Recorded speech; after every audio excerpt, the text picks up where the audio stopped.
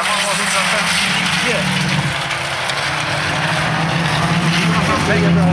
Jonathan Bäck finner ut på innerplan där borta. Tillsammans med Emma Larsson och Jonathan Bäck. De har en riktig vänskapsbonda lite grann där i första böj. I ledningen har vi Andreas Idarsvar och Isak Persson. Jonathan Bäck kommer ut på banan igen. I ledningen Andreas Ridarsborre. Han Från mot Klubb i ledningen för Isak Persson. Sen har vi då Sofie Borg på en tredje. Isak Karlstad på fjärde. Jonathan Bäck har fått Emma Larsson.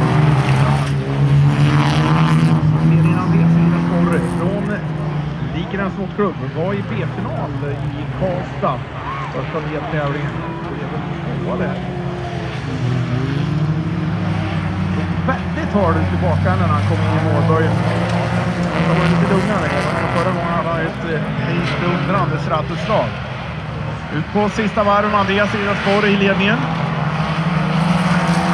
På en andra plats, Isak Persson, i Borg, Isak Karlsson, Emma Larsson eh, på en femte.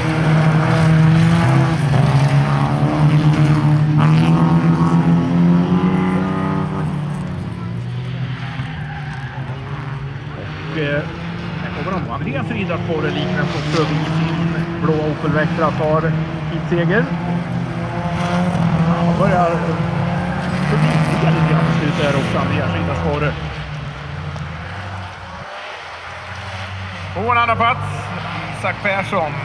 Nummer 156. Jag kanske ska kolla så att jag inte säger fel. Jo, stämmer bra. Isak Persson för Philips MC.